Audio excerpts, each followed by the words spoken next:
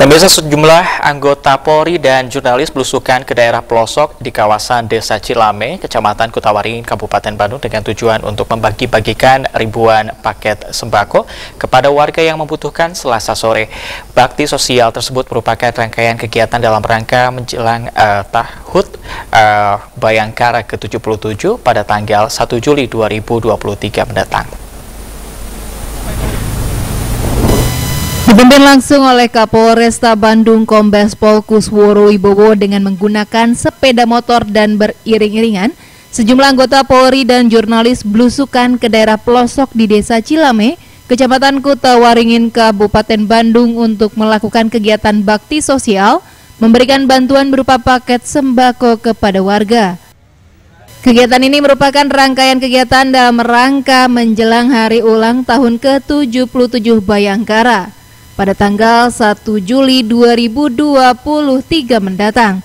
Meskipun jarak yang ditempuh jauh dan medan yang dilalui cukup curam, namun hal tersebut sama sekali tidak menurunkan semangat dan tekad polisi untuk menyampaikan bantuan sembako bagi masyarakat yang membutuhkan dan kegiatan bakti sosial ini tepat sasaran.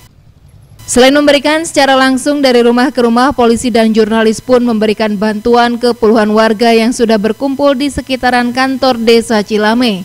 Dengan raut wajah bahagia, para penerima bantuan yang mayoritas sudah lanjut usia merasa senang dan terbantu dengan adanya bakti sosial tersebut.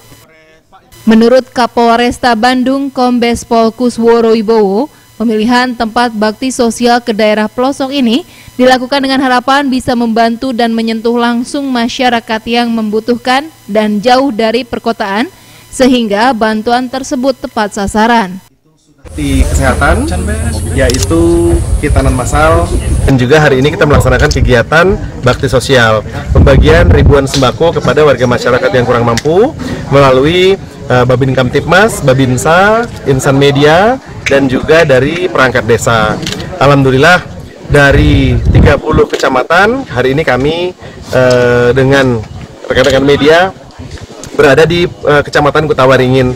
Ada beberapa warga masyarakat yang sudah sepuh dan membutuhkan kami berikan uh, sembako dengan isi berbagai macam uh, kebutuhan pokok. Dan selain itu kami juga melaksanakan kegiatan olahraga bersama kemudian uh, lomba-lomba uh, dan juga uh, berbagai macam kegiatan yang positif dalam rangka Hari Bayangkara yang ke-77. Bang, Pak, ini kenapa belusukan ya, belusukan ke wilayah ini, Bang? Iya. Jadi memang yang kita sasar adalah data-data dari Intel-Intel Polsek maupun Babin Kamtipmas dan Babinsa di mana yang kami datangi adalah rumah-rumah warga yang tidak mudah akses jalannya. Artinya warga masyarakat yang uh, melalui transportasi yang jalan yang sulit seandainya mau ke kota. Sehingga kami yang berusukan ke eh, rumah-rumah warga dan uh, warga masyarakat pun tidak perlu jauh-jauh. Cukup berada di seputaran area rumahnya dan kami yang datang kami yang membagikan. Jadi jemput bola Pak. Insya Allah. Sehingga tepat sasaran.